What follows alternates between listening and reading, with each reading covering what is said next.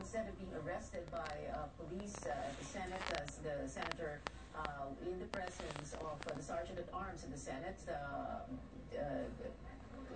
went with the police officials, among them NCRPO Chief Director Guillermo Eleazar, to the Makati PNP. That's where he had his mugshots uh, taken, uh, booking procedures. From there, he proceeded to the uh, Makati Regional Trial Court to meet with Judge Alameda, and that is where his representative posted the 200,000 peso cash uh, bail uh, that um, that the court had ordered him to do so. Now, after that, uh, the court ordered that he be released, and hearing set uh, in late November. In the meantime, Paolo Barcelon reports live from Makati. Paolo, take us through what happened there.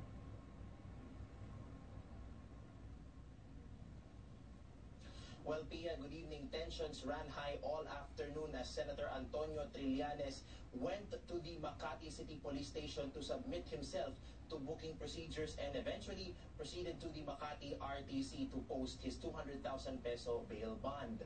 The Senate Sergeant at Arms Jose Balajadia told reporters earlier that the arrest went through proper procedures. In fact, uh, earlier we saw uh, Metro Manila Police Chief uh, Guillermo Eleazar uh, coordinate with the Office of the Senate of or the Senate Sergeant at Arms to coordinate this arrest. Trillanes boarded a police van that brought him to the Makati police station. Booking procedures were fast, his mugshots taken. These were required so that he could post bail. In fact, Pia, earlier we saw video posted or sent to reporters by the NCRPO showing Trillanes in a calm and composed state as he was uh, being uh, subjected to the booking procedure.